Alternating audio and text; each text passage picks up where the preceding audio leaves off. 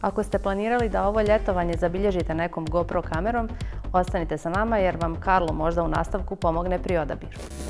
Zdravo. E, za danas opet od kolega iz Q-Laba dobili smo kamericu, action kamerica po, uzoru na GoPro koji je najpoznatiji u tom, u tom dijelu. Znači, sad ćemo da vidimo šta je to. Pakovanje malo čvrsto i šuštavo. Ajde prvo krenemo od kamere same. Znači, kamera dolazi u, evo to izgleda. Kamera dolazi u tom malom kućištu koje je, ima ovdje baterija mala, jesi, mhm.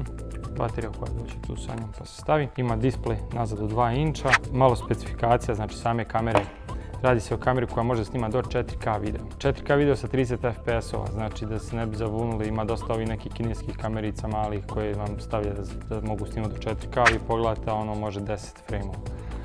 Znači od toga nema ništa 10 frame-ova u 4K, mislim 10 frame-ova nikom ništa. Znači u 30 frame-ova je već nešto što je ok. Znači dolazi sa i može snimati ultra, e, to jest full HD može snimati sa 60 frame po sekundi, što je opet ok, dovoljno frame za neki slow motion video nešto slično.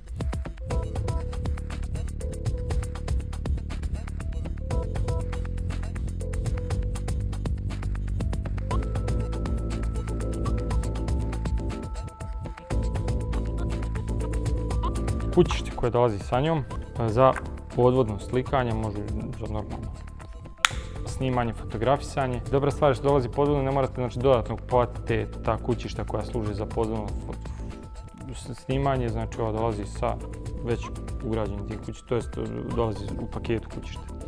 Da može da snima do 40 metara pod vodom. Hajde sad vidimo kakvih nekih džinđuva ima ovdje, neki nastavci dodatni za namještanje kamere, baterija. E, zanimljiva stavka, Bluetooth kontroler, to je zanimljivo što možete da kontrolišite do 10 metara razdaljne, ne, treba, ne trebate dolaziti do kamere i slično, već možete je kontrolisati pomoću daljinskog upravljača, dodatna vratašca, opet neki džinđuva, neki baterija, kabel. Najveća mana ove kamere po mojem nekom nahođenju je baterija 1050 mAh, dovoljno za 40 minuta snimanja. To je nekako za mene malo, kada ćete ostaviti negdje da snimate nešto što treba sat, sat i pol snimati, znači morate ili spajati ili na, neko napajanje ili nešto slično.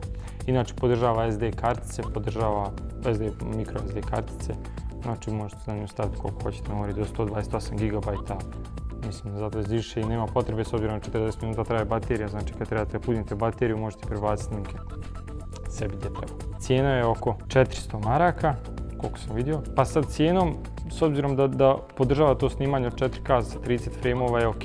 Nije to loša cijena, zato generalno kome treba 4K možda se odluči ipak i na GoPro koji je, reći, malo bolja opcija ovoga. Eto nekim kratkim crtama, to je bilo to.